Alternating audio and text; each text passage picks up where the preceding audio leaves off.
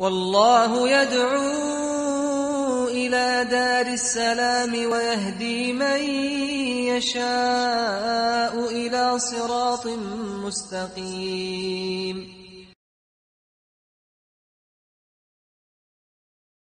من هم الصوفيون وما موقف الإسلام منهم؟ جزاكم الله خيرا.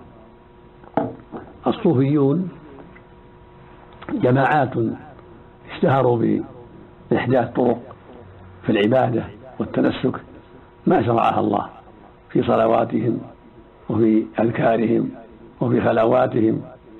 يقال لهم الصوفية. قال بعضهم معناه من التصوف لأنهم يلبسون الصوف.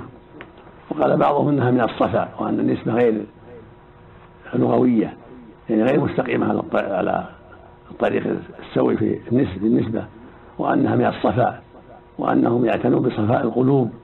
من الكدر من كدر الذنوب وكدر كسب الحرام ونحو ذلك.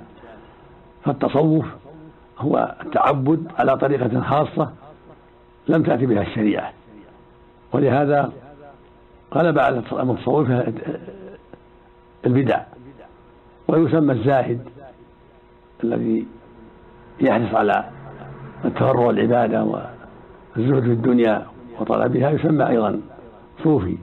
لكن إذا كان ما أحدث بدعة وإنما صفته الزهد والرغبة في الآخرة والتقلل من الدنيا والحرص على أعمال الآخرة هذا ما يسمى صوفي في الحقيقة. يسمى زاهد.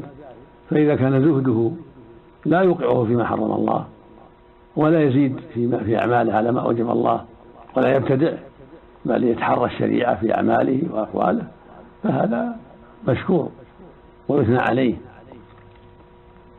كالجنيد بن محمد وأبي سليمان الداراني ومثل الحافي وجماعة اجتهدوا في العبادة والزهد في الدنيا.